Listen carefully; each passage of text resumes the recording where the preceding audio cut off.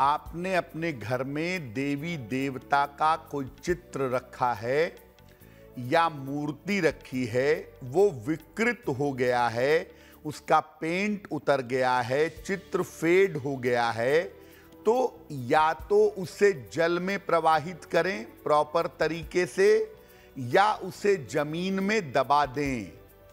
मूर्तियों को, चित्रों को लोग इधर उधर फेंक देते हैं।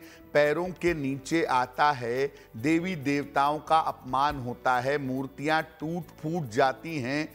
तो आप उसे इधर उधर मत फेंकिए। उनका अपमान मत करिए। या तो जल में प्रवाहित करिए और या मिट्टी खोद करके ज़मीन में दबा दीजिए। जिन मूर्तियों की एक समय आप इतनी पूजा करते हैं, बाद में उन्हीं मूर्तियों को इधर उधर फेंक देते हैं, उनका अपमान होता है, ये आपके लिए बिल्कुल उचित नहीं है।